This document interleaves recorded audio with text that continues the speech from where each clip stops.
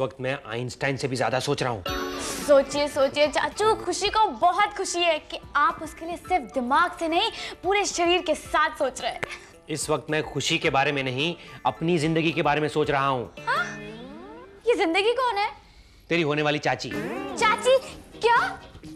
आप भी शादी कर रहे हैं? अभी अभी तो आए हैं यहाँ की बीमारी भी लग गई? पापा तो ये सदमा बिल्कुल बर्दाश्त नहीं कर पाएँगे। फिर भी मैं पापा को बुता कर आती हूँ। पापा! रुक रुक रुक। पापा की दुश्मन पापा को मारेगी क्या? अरे अभी तो सिर्फ़ सोच आई है। लड़की से पूछना बाकी है। लड़की मिलने से पहले इतना सोच रहे हैं तो शादी के बाद क्या करेंगे? वैसे चाचू लड़की कौन है? एक शर्त पर बताऊँगा। अगर तू उसे फ़ोन करके कहे कि तुझे उससे बात करनी है। पर बात तो आपको करनी है। अरे ये मेरा स्टाइल है। तू नहीं समझेगी। तू सिर्फ़ फ़ोन कर। एक शर्त पर। आपको मेरी शादी रुकवानी होगी। आज से कोई भी लड़का तेरी ओर नज़र उठाकर भी नहीं देखेगा। और बोल। No no no no no no no शादी वाले लड़के को रोकना है। बाकी लड़कों को तो देखने दीजिए। ठीक है डन अब ध्यान से सुन कहना क्या है? कहना मालिनी जी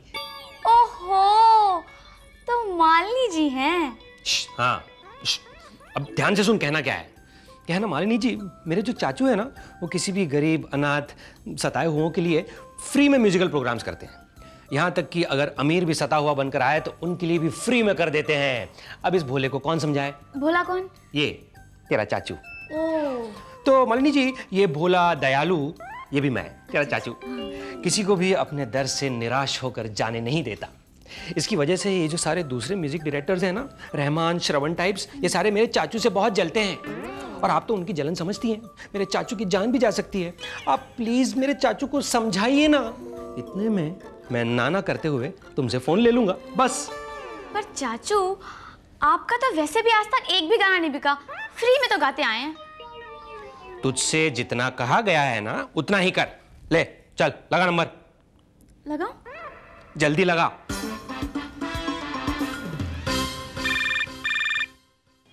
हेलो हेलो मालिनी जी मैं खुशी बोल रही हूँ हाय खुशी व्हाट अ प्लेजेंट सरप्राइज़ इससे भी बड़ा सरप्राइज़ दूँ मेरे चाचू है ना आपसे बात करने के लिए बहुत बेकरार हैं यहाँ तक कि जो आपसे कहना है ना वो भी हमसे कह रहे हैं प्लीज़ आप उनसे बात कर ही लीजिए ना प्लीज़ प्लीज़ प्लीज़ करिए तुम हेलो हेलो मालिनी जी जी जी मैं मैं मैं मैं राहुल बोल रहा हूँ हाँ आप खुशी की बात माना नहीं ये ऐसे ही कुछ भी बक देती है। चलिए नहीं करते विश्वास। मान लेते हैं कि आपका हमसे बात करने का जी नहीं चाह रहा है। तू यहाँ क्या करी जा तू। चल जल्दी आ। जी अ, जी मैंने ऐसा तो ऐसा तो नहीं कहा। इसका मतलब जी चाह रहा है? तो कीजिए बात। जी नहीं हाँ लेकिन मैं क्या बात करूँ? अब आपको बताना पड़ेगा कि आप क्या बात करें। अ, बातों का ही तो कारखाना है ना आपका? Bakery bakery.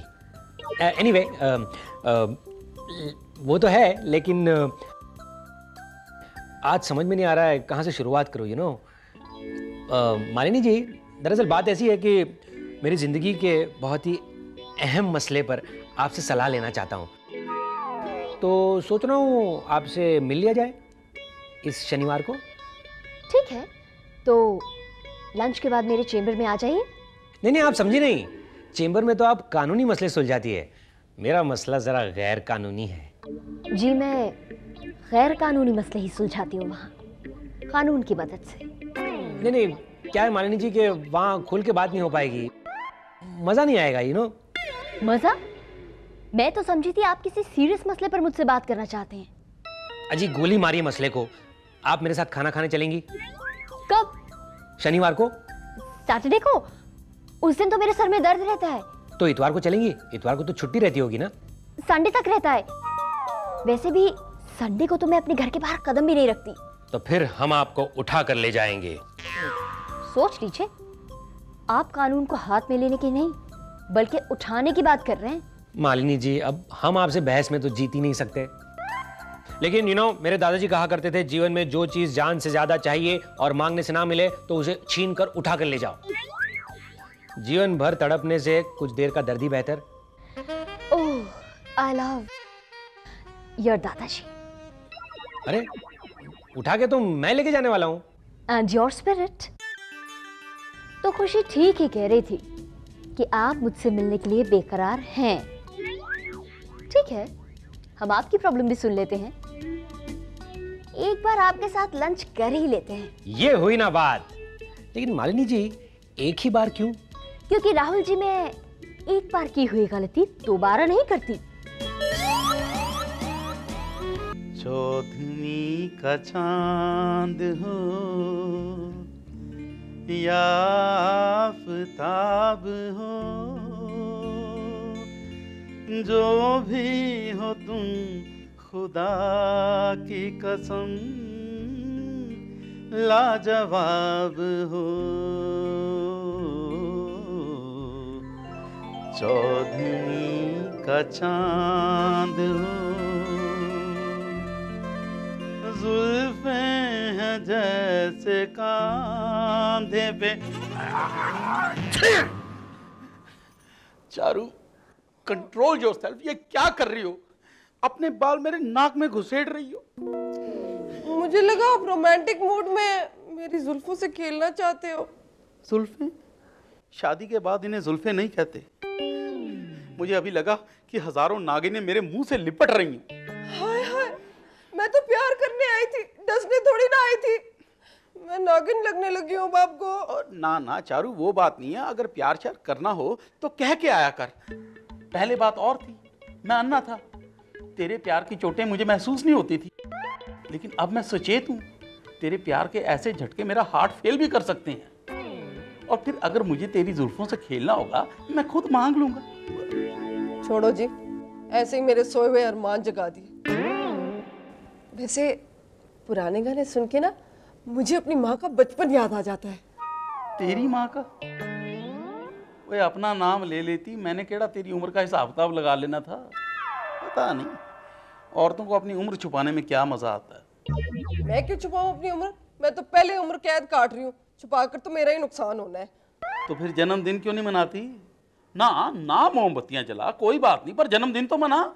मैं कब तक अकेला बूढ़ा होता रहूँगा? आप ना मेरा मुँह मत खुलवाओ। तेरा मुँह बंद ही कब हुआ है? माना कि औरतों की उम्र तीस के बाद बड़ी मुश्किल होती है। पर कब तक चारू कब तक आठ साल हो गए अभी तक तीस पे अटकी है। मैं जा रही हूँ। रुक जा ओए और रुक जा चारू जा रुक जा। देख तुझे जो फिगर पसंद हो ना तू उतनी की हो जा आई एम विद यू मैं ना आपसे बात ही नहीं करूँगी। अगर एक खुशखबरी सुनाऊँगा तब भी नहीं। अच्छा सुनाओ आए आए। खुशखबरी सुनने को हर कोई तरसता है लेकिन एक शर्त पर। उसके बाद तू मेरी एक निक्की सी मासूम सी फरियाद मानेगी। मंजूर। माँ आ रही है। कहाँ से? परलोक से? मेरी नहीं तेरी माँ आ रही है अपनी माँ के यहाँ से। हाय तो ऐसा कहो ना मेरी माँ आ रही है। हाय माँ। माँ अब मैं तुम्हें नहीं जाने दूँगी हाँ। होल्ड इट ये खुशी मैंने इस शर्त पर सुनाई है कि माँ चंडी देवी आठ दस दिन से ज़्यादा नहीं टिकेगी। क्यों? आपको क्या तकलीफ़? तकलीफ़ एक नहीं अनेक है। तुम्हारी माँ शेरू के घर में इतना शोर डालती है कि पड़ोसी घर छोड़कर भाग जाते हैं और उनका किराया बाद में मुझे देना पड़ता है। हाँ तो इसमें मेरी माँ का क्या दोष है? हर औरत थोड़ा बहुत तो बोलती है ना आपकी भी बोलती होंगी। मेरी माँ? मेरी अम्मा तो जब तक घर में थी किसी को पता ही नहीं चला। पहला शोर ही उसके मरने पर उठा। तो इसमें मेरी माँ का तो दोष नहीं है ना? देखो जी मेरी माँ आ रही है और जब तक चाहेंगी रहेंगी हाँ। तब तो वो जाली पिछली बार आई थी दो साल रह के गई थी। वो तो तेरे पापा मर गए उसे जाना पड़ा। अब तो उसका कोई करीबी रिश्तेदार भी नहीं बचा। मुझे डर है अब वो ना गई। तो क्या हो गया? होना ये है कि सब कुछ उथल पुथल हो जाना है। नो प्राइवेसी नो फ्रीडम घर की चीज़ें नहीं मिलनी। यहाँ तक कि मेरे कुर्ते पजामे गायब हो जाने हैं। हाय हाय ये आप क्या कह रहे हो? आप भी ना बस वो तो गलती से पिछली बार आपका एक कुर्ता पजामा ले गए थे वो पजामा तो उनको पूरा भी नहीं आया। कह रहे थे तंग है। जब इंसान उनसे तंग आ जाते हैं तो बेचारे कुर्ते पजामे नहीं आएँगे। आप तो जी अपनी ज़ुबान काबू में ही रखो। काबू तो दुश्मन को किया जाता है और इस वक्त सिर्फ़ एक ही दुश्मन नज़र आ रहा है। खबरदार खबरदार जो मेरी माँ के बारे में ऐसा कुछ कहा तो।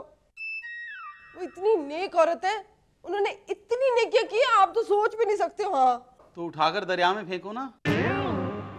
सुना नहीं? नेकी कर दरिया में डाल। आपसे ना बात करना ही बेकार है। हूँ। वैसे सुना है कि नेक लोगों को भगवान जल्दी उठा लेता है। पता नहीं।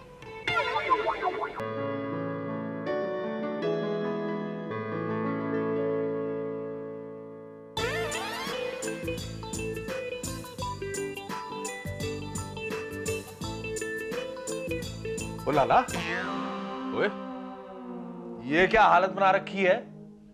कपड़े मेरे चुराए और नहीं जी नहीं ये मेरे अपने कपड़े हैं। इतने ज़रूरी काम के लिए मैं जा रहा था बीच में आपने मुझे टोक के रख दिया अब दो मिनट बैठना पड़ेगा।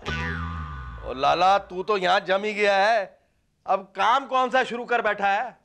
काम जरा नाजुक है जी आप नहीं समझोगे। नाजुक तो इस वक्त तेरी हालत है। लाली के दो बार फ़ोन आ चुके हैं। साली की? क्या कह रही थी जी? कह रही थी थाने में रिपोर्ट लिखवा दिया लाला गुम हो गया है। ओ यार तू लाली को फ़ोन क्यों नहीं कर लेता? ओए टाइम किसके पास है जी? सब्र करो आपको कहना मैं ज़रूरी काम में फंसा हुआ हूँ। और काम करना तो खुल के कर। ऐसे छुप के काम नहीं साजिश होती है। बारिश? वो बारिश होती है तो होने दो जी। बारिश में तो और मज़ा आएगा जी। अच्छा अब मैं चलता हूँ। और रुक जा लाला। अब मुझे तेरी नीयत ठीक नहीं लग रही। सुबह शाम तू दंड पेलता है खुशबू वाला तेल लगाता है मुझे तेरी आसमान की तरफ़ जा रही हैं और बारिश में तुझे मज़ा आने लग गया है। ओए इतना शौकीन तो तू अपनी जवानी में नहीं था। सच सच बता माजरा क्या है? ठीक है जी मैंने सब सुन लिया बाजरा भी लेता हूँ अब चलू? जा। मैं लाली को फ़ोन करके बोल दूँगा कि लाला मिल गया है। ओ नहीं नहीं ओ लाली को कुछ मत कहना जी। अच्छा ये सुन लिया काम की बात मैं सुन लेता हूँ जी। तो फिर सच सच बता माजरा क्या है? ओ जी माजरा तो कुछ नहीं है जी। व्यापारी हूँ व्यापार कर रहा हूँ। ओ लाला सारी उम्र तूने धोती और बनियान में व्यापार किया है। ये मांगे हुए कपड़े पहनकर सर्कस में बच्चों को डराने जा रहा है? ओए म्यूज़ियम वाले तुझे किसी दीवार पे टांग देंगे। ओ जी बात ये है महेश जी सामने वाली पार्टी ना अब की बार वो है। वो कौन? हमें तो एक ही वो का पता है पति पत्नी और वो। ओए कहीं ये वो वो तो नहीं? वाह वाह क्या बात है महेश जी आप तो पहले इशारे में सब समझ गए। हाय हाय महेश जी क्या बताऊँ? बड़ी सोनी मुटियार है। और समझ तो गया हूँ मैं लाला कि तू यहाँ अपना व्यापार नहीं जमा रहा दूसरा घर बसा रहा है। ना जी ना मैं तो व्यापारी जमा रहा हूँ। अब क्या बसता है ये तो रब ही जाने। वैसे तू व्यापार किस चीज़ का जमा रहा है? उन्हें जी पुरानी चीज़ें जमा करने का शौक है। वो क्या कहते हैं ना जी आंटी। हाँ और मेरे कार में बहुत सारी पुरानी चीज़ें पड़ी हैं। बस वही उन्हें बेच रहा हूँ। ओए लाला तेरे घर में तो सबसे पुरानी चीज़ तू ही है। और कहीं तू ही तो एंटीक पीस बनकर उसके घर में नहीं जा रहा? वो पीस नहीं जी पूरा ही जा रहा है। माल। पर महेश जी मेरी एक बड़ी प्यारी नजदीकी चीज़ देते हुए ना मेरा मन बहुत ही दुख रहा है। ओए क्या लाली भी दे रहा है? हाँ जी। वो आपको इसका भी पता चल गया। और बाद आजा लाला। क्यों जी? वो थाली देना कोई जुर्म है? ये थाली वो थाली है महेश जी जिसमें मेरे परदादा जी अपने हाथ से मेरी परदादी को खाना खिलाते थे। वैसे बड़ा अफसोस हो रहा है जी। पुरानी चीज़ें ना कभी भी नहीं देनी चाहिए। पुरानी चीज़ों के साथ ना यादें जुड़ी रहती क्यों महेश जी? फिर भी तू दे रहा है लाला। क्यों? क्योंकि जी मुझे नोट जो मिल रहे हैं। साथ में और क्या मिल जाए क्या पता? अरे तो फिर अफसोस क्यों मनाता है? जितने पैसे मिलेंगे उनसे नई यादें शुरू कर लियो। हैं जी। चल जा यार। हाँ? हाँ। चल।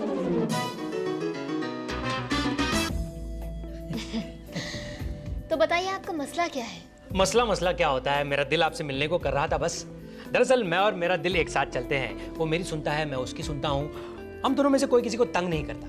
तो आपने मुझे झूठ बोलकर यहाँ बुलाया? अगर मैं सच कहता तो आप यहाँ आती। नहीं आती ना। लेकिन आपसे मिलना बहुत ज़रूरी था। क्यों? आप मेरे सपनों में जो आने लग गई हैं। आप पहली ऐसी लड़की है जो तो मेरे सोने के बाद भी मुझसे मिलती है। आप मुझसे फ्लर्ट कर रहे हैं?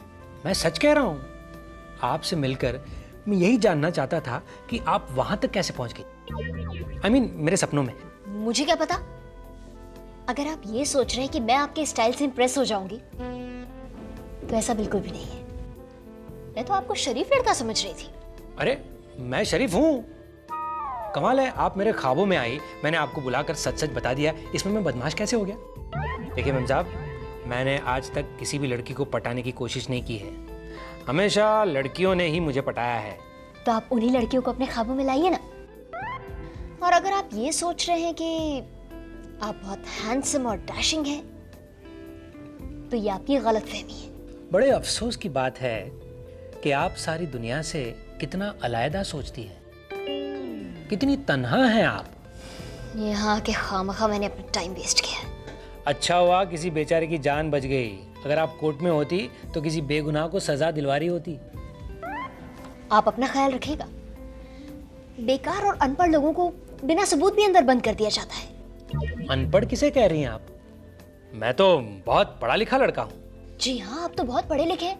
एग्ज़ाम्स में जब सब लिख रहे थे आप पढ़ रहे थे। मेम साहब दुनिया में पढ़ा लिखा होना ज़रूरी नहीं समझदार होना ज़रूरी होता है। वैसे भी मेरे साथ मेरा हुनर है मेरा इल्म है। ये लोग कौन है? मैंने कहा ना पढ़ा लिखा होना ज़रूरी नहीं समझदार होना ज़रूरी होता है।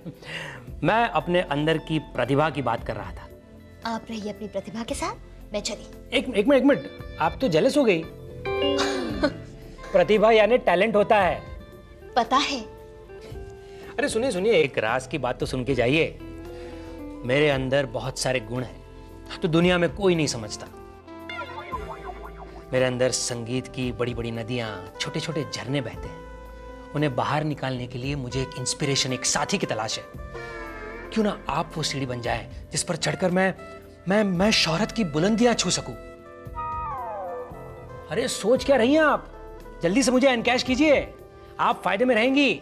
मैं सोच रही हूँ, आपके झरने मैं कैसे बाहर ला सकती हूँ? और और सीढ़ी बनना भी मुझे नहीं आता। बस आप यूँ ही हमसे मिलती रहिए मेरे गाने सुनती रहिए और वाह वाह कहती रहिए। आई मूव्ड थैंक यू आपने कहकर मुझे हिला दिया। अच्छा। गाना शुरू होने से पहले हिल लो तो बेहतर है। बाय बाय अरे अरे सुनिए तो सही। अरे गाना सुनने से पहले ही आप हिल गई। हाँ। मैं ज़िंदगी का साथ निभाता चला गया।